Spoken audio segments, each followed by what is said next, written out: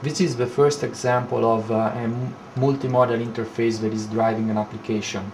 There is a combination of an eye tracker, we, here we are one, two, three, four, five illuminators and a CCD camera, and an array of microphone that is uh, a prototype from Philips uh, for the, the speech recognition engine. Uh, the microphone is pre-trained uh, by Philips uh, and was developed for a consumer product. so right now it recognizes about 100 words uh, but are related to the TV words. So uh, now I'm using a, a, vocabulary that is not targeted to that environment that, uh, that is a demonstrator of a PACS workstation that is a medical machine for doing radiological uh, analysis of images.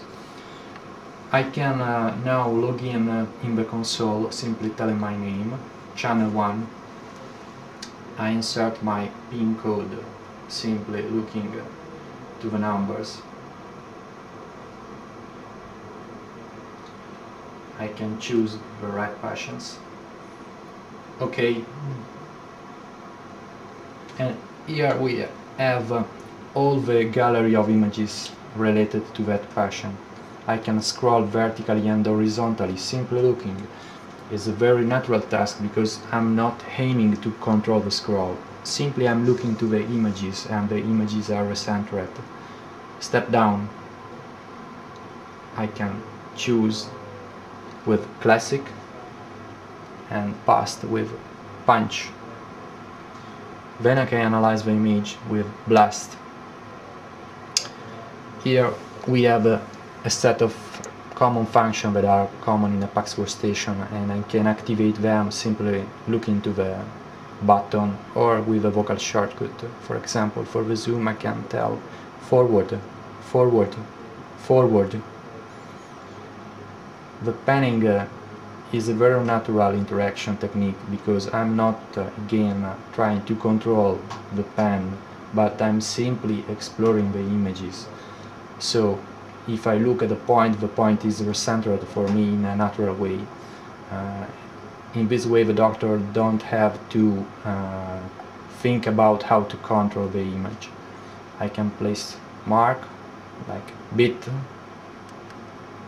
okay, okay, and fine tune it with head movement. Okay, I can take measure, rock, measuring is a very extreme task. Off. Okay. Softer. Okay. Softer. Okay. This is a bit extreme, but is a good way to show that everything can be done without using hand with this technique. Uh, another bonus is the fact that having eye tracker, the tracker is constantly registering uh, the gaze that I'm taking. So, for example, I can analyze the images with previous step up, classic, punch, blast. This is a mammography and uh, we know that uh, in uh, the United States the average time for doing a, a diagnosis on a mammography is about 20 seconds. So after a day of work, probably the doctor is tired and uh, we can furnish it a way for having uh, a feedback of what he gazed at uh, also in an, an unconscious way, simply by telling record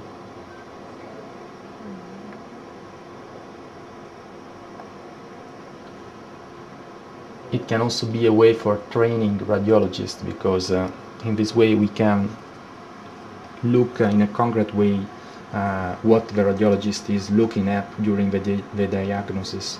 And we also have a support of different and uh, uh, technique uh, that are the scanpath analysis. For example there is a lot of literature about different scanpath of expert radiologists versus novice radiologists or more fine-grained uh, analysis like for example this more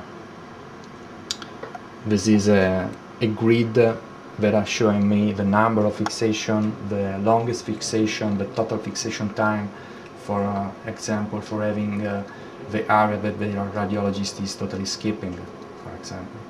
And everything can be done with multiple images at the same time. Previous. Sports.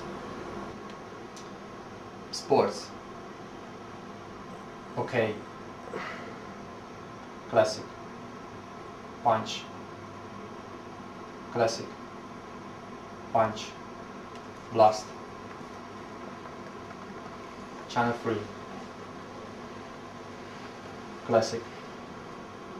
Punch. Volume.